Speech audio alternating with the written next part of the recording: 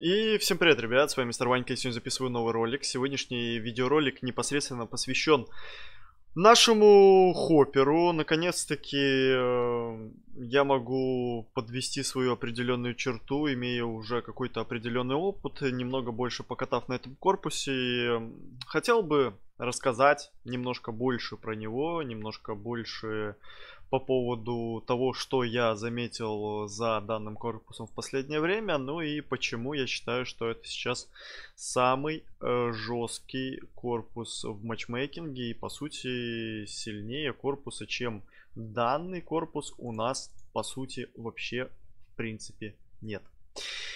Э, Начнем, наверное, давайте с того, в чем, в чем его суть, в чем его приоритет, да, то есть у нас уже на канале выходило порядка двух, может даже трех видеороликов, посвященным данному корпусу, там где-то я с кризисом катал, где-то еще с чем-то, но тогда я не катал на этом э, корпусе полноценно какой-то определенный период времени, в боях я не тестировал его на постоянной основе. Это был корпус, на котором я мог, например, там по фанчику для вас записать какой-то определенный видос, например, с кризисом, либо какой-нибудь там типа нарезочки записать, еще что-либо. Но сам корпус э, без данного дрона кризис я в расчет не брал. Не знаю почему, не знаю почему, хотя мне был как минимум один, может даже два человека, которые говорили, что играя на кризисе, играя на кризисе, я почему-то на нем, ой, вернее, не кризисе, на хоппере, я почему-то на нем не играл, как-то не делал на него акцент и думал, что, ну, без кризиса он такой себе, не особо нагибающий и не особо уж э, он как-то выделяется, да, там не сильно он нагибает, да, то есть как бы овердрайв там этот прыгучесть есть, ну, а так, типа, фигня полная. Как вы знаете, эксперимент у нас э, в танках дал x2 хп, и я считаю, что именно это обновление вывело Э, данный корпус на новую планку, на совсем другой уровень, да. И э, непосредственно после именно данного обновления я считаю, что этот корпус вышел на свою пиковую, наверное, форму и пиковую имбовость, да. Я бы, наверное, даже ее сравнил с той имбой, которая была у нас э, связана с корпусом Hornet. Но здесь, конечно, сама физика, сама как бы механика и свойства данного корпуса совсем-совсем другие, но это сути дела не меняет, что тот корпус был имбовый и на нем можно было делать большое количество киллов, то на этом корпусе, например, можно э, не делать, например, такое большое количество киллов, потому что у вас не получится этого сделать, зато у вас есть отличная возможность доставлять большое количество мечей, флагов э, за довольно короткий промежуток времени, при этом э, довольно беспрепятственно и грамотно обманывая любого противника. Э, что касаемо плюсов и минусов, то по этому поводу я думаю, что мы тоже пройдемся сегодня. Мне хотелось бы рассказать побольше вообще про этот корпус. Я все-таки пока что не знаю, да, останется у нас эксперимент данный с X2 HP на постоянной основе в матчмейкинге. Э, если же он, ну, понятное дело, что его откатят через э, пару дней, после выхода данного видеоролика, но будет ли возвращен данный эксперимент на постоянную основу, пока что никто не знает. Да? Откатят об, обнову обратно на какой-то промежуток времени, а потом вдруг опять x2 hp сделают. Если же данное x2 hp сделают, то я могу смело сказать, что это лучший корпус, который есть на данный период времени. из x2 hp не один корпус не сравнится с хоппером. Единственный корпус, который может его законтрить, это какой корпус? Правильно. Это тот же самый хоппер. То есть вас может законтрить только хоппер. Ну и понятное дело, там исключения могут быть корпуса, которые там будут иметь иммунитет от оглушения. Например, там хантер какой-то с оглушением. Но это уже как бы, знаете, такая непосредственность, да, то есть это как бы даже нельзя считать за минус, да, то есть это как бы иммунитет и свойство, за счет которого вы как бы можете хоть как-то немножко бороться с хоппером, но это, знаете, так, чисто, ну, на пол шишечки, да, как бы у вас там будет какой-то шанс что-то сделать, но не более того, да. Э, что касаемо овердрайва, я могу с уверенностью сказать, что он корпусу придает особую имбалансность, да, то есть не, не было у нас в игре никогда такого овердрайва, который мог бы прыгать, перелетать все танки, и даже в той ситуации, когда у вас как бы уже там и хп мало, и вы кажется, что там стоит 25 тысяч деферов, и вы думаете, что вы уже ничего не сделаете, вы просто нажимаете на одну кнопочку Shift, перелетаете все танки, залетаете сверху и, например, там ставите мяч, ставите флаг через верх, просто прижимая как э, блинчиком именно противничка, и все, все легенько вообще просто хоп-хоп, запрессовали одного, второго, третьего и легонечко ставите один мяч, другой мяч, второй, третий мяч. Плюс еще, ко всему прочему, хоппер, контрит, овердрайв хантера, который может, например, на вас его прожать, вы сразу же в этот же тайминг нажимаете Shift, хоп, контрите его, овердрайв сбивается у хантера, пропадает до 0%, а вы просто подлетаете вперед и у вас как бы ничего не законтрит. Но есть, конечно, одно исключение, это, как я уже говорил, иммунитет от оглушения. Это, ну, одна вещь, наверное, которая только может законтрить. Если у вас и ее нет, то считайте GG. Сразу вы приплыли. Ну, а если, например, у противника есть э, иммунитет от оглушения, то мой вам совет просто возьмите фриза. Возьмите фриза, и он либо снимет э, сам иммунитет от оглушения и возьмет иммунитет от заморозочки, но если не возьмет, то значит будет стоять АФК весь полноценный бой, и у него там возможности особо никакой не будет. Э, дальше. Что касаемо овердрайва, я сказал свою точку зрения, да, это, ну, лютая имба. Что касаемо самого, как бы, корпуса, это понятно. Но Почему я раньше не придавал такое значение данному корпусу? Почему я не считал, что он настолько имбовый? Почему я думал, что он находится в каком-то определенном среднем балансе и все? Да, то есть, понятное дело, что там с кризисом он и бывал, и в этом плане, типа, там даже как бы и близко не стоит ни один другой корпус, как по мне. Но почему я думал, что он не нагибает? В связи с тем, что я играл раньше на хоппере с клавиатуры. Это совсем другой геймплей, совсем другая игра, и препятствия вы преодолеваете с совсем другой сложностью. То есть вы врезаетесь постоянно в какие-то стенки, где-то дрифтуете, где-то за счет этого у вас там где-то кто-то догоняет, вы не можете обойти там противника. Но что касаемо игры на данном корпусе с мышки, то это совсем совсем другой геймплей, который, конечно же, дает дополнительный бонус. Данный геймплей является для меня, наверное, уникальным. Я ничего раньше подобного не видел. И сделав его таким, он, э, с одной стороны, уникален, интересен и с той же стороны имбовый, но с другой стороны, если ты начинаешь думать о том, как законтрить это дело, то в голову у меня каких-то мыслей прям гениальных не приходит. То есть нереально жесткий стрейф, которым можно обмануть всех. Да, можно быстро и резко стрейфануть в одну другую сторону, э, проехать мимо какого-то танка, да, объехать танки. Ну, в общем, ну это лютая тема, которая дает дополнительный буст еще тому же Хопперу, который и так имеет хороший суперский овердрайв.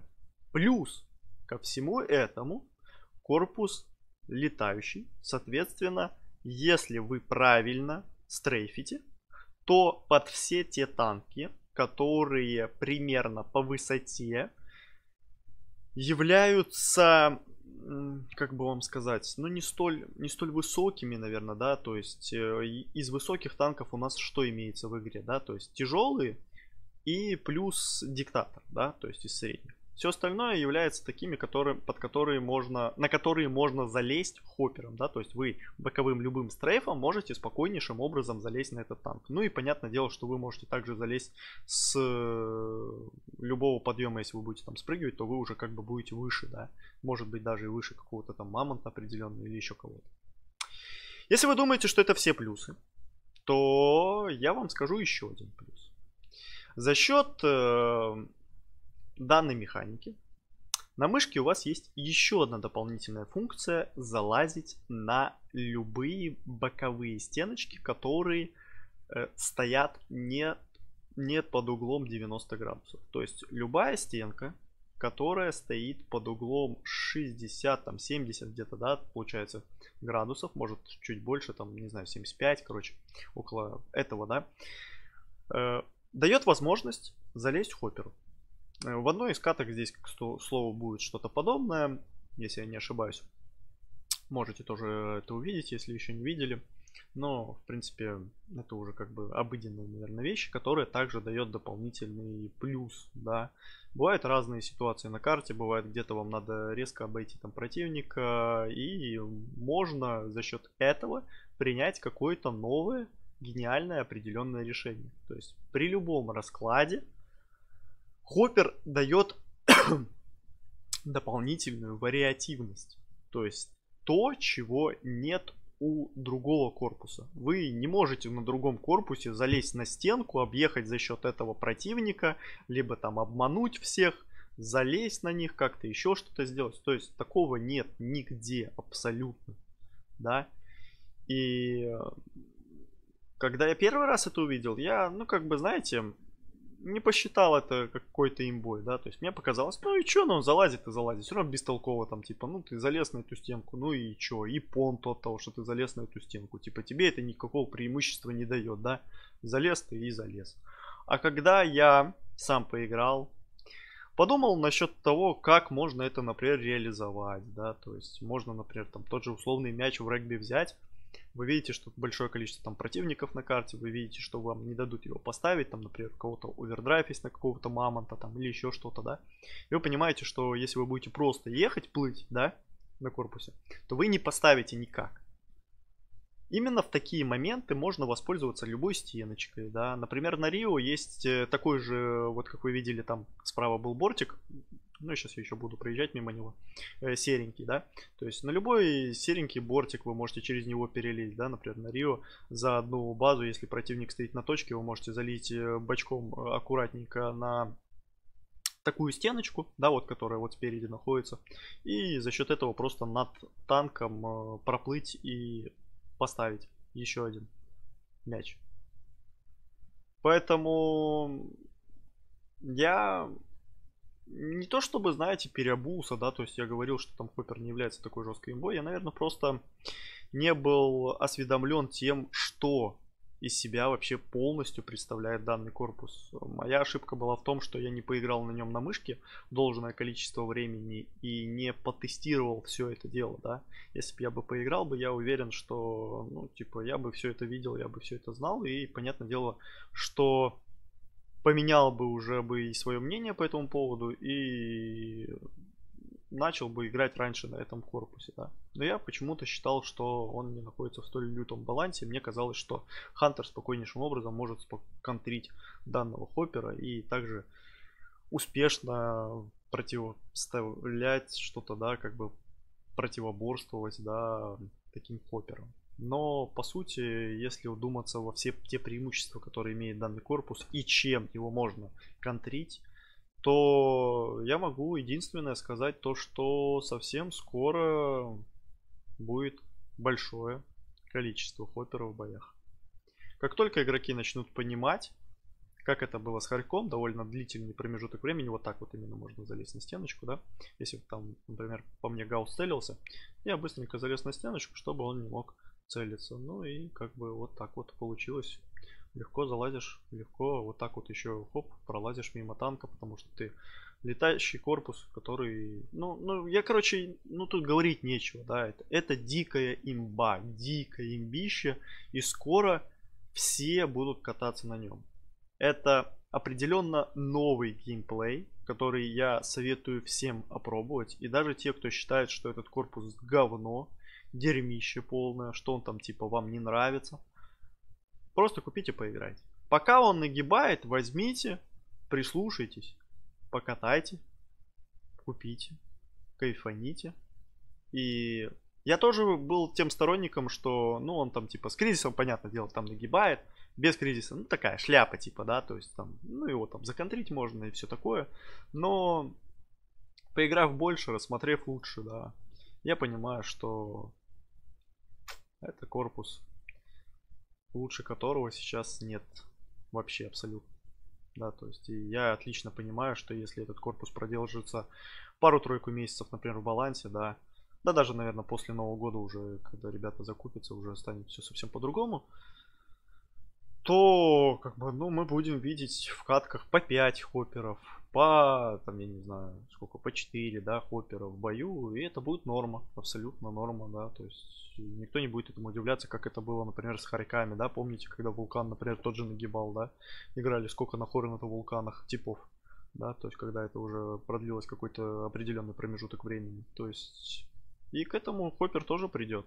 Вопрос только лишь в другом, когда занерфит этот корпус, когда его нерфанут, когда с ним э, сделают тот самый баланс, который нужен, да, при том раскладе, что я уже знаю, как этот корпус можно спокойнейшим образом занерфить. Вот вы сейчас тоже видите, как Хантер прожимал овер, и я просто прожал свой овердрайв, дабы законтрить его и спокойнейшим образом еще застопить, сбросить с него мяч и полноценно как бы выиграть данный игровой момент на карте. Поэтому, что касаемо минусов, ну, я остановился лишь на том, что можно бороться иммунитетом от оглушения, да. Можно хоть как-то препятствовать этим данному корпусу, тем же Хантерам, да, например. Либо же Викингом, да, который будет прожимать овердрайвы, но нужно понимать, что овердрайвы-то у вас не вечные, у Хоппера он копится быстрее. И его функции, его свойства работают намного лучше. Да, то есть за счет одного прыжка можно сделать определенный пируэт на карте и реализовать на 100% свой корпус. Что вы не сможете сделать на том же даже Хантере, Викинге, да, в определенных моментах у вас, вас могут легко законтрить, чего не сделают с вашим хоппером. Поэтому мой вам совет – поиграйте пока. Но я, хоть и кайфанул уже, и кайфую дальше, играя на этом корпусе, потому что, ну, мне всегда новые вещи, которые реально заходят и которые мне нравятся, они мне придают дополнительный буст, играть в игру и как бы экспериментировать, придумывать что-то новое, да. То есть я не любитель, знаете, по дефолту катать. Э, ну, то есть име, имею в виду вооружение, типа это все GG, но именно сам геймплей, да, сам план на игру я люблю как бы модернизировать, рассматривать в разных моментах, да, придумывать какие-то дополнительные фишки, за счет которых можно более качественно реализовывать данный корпус. Поэтому катайте, но я скажу вам так, что это дичайшая имба. Дичайшая просто имба. Которую нужно нерфить. И если ее не занерфят в ближайшее время, я в этом уверен практически на 100%, что в ближайшее время его не занерфят. Потому что еще довольно маленькое количество его купило. То их будет много. Их будет определенно много.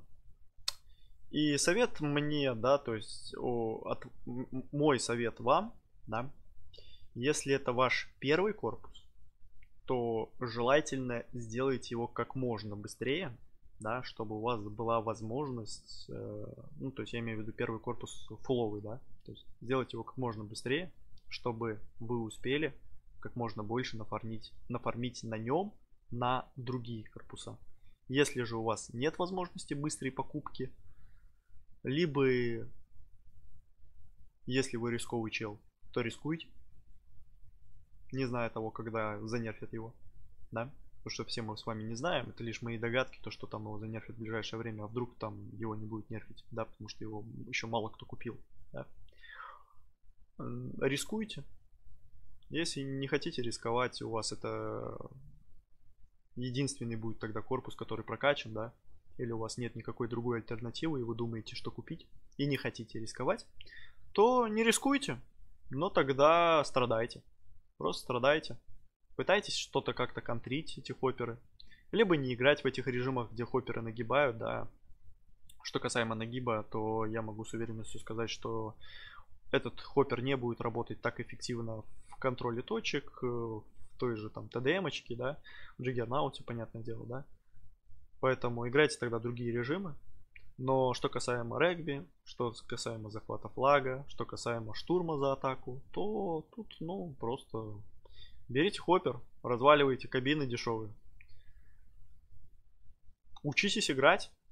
Я, э, с одной стороны, могу сказать, что это очень легкий корпус, да, и ничего там сложного нету, но с другой стороны, если вы будете играть против более опытных игроков, которые э, уже больше разбираются в этом корпусе, они смогут вам показать, что даже такой, по сути, несложный овердрайв, несложный корпус может быть реализован совсем по-разному, да, и он может быть реализован как плохо, так и отлично, да, за счет э, каких-то своих определенных мувов, которые видит игрок.